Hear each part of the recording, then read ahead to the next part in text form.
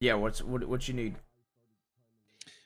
If I give you some stuff, if I end up going to jail and getting the firing squad, can you make sure that the Shrugways guy remains a living hell?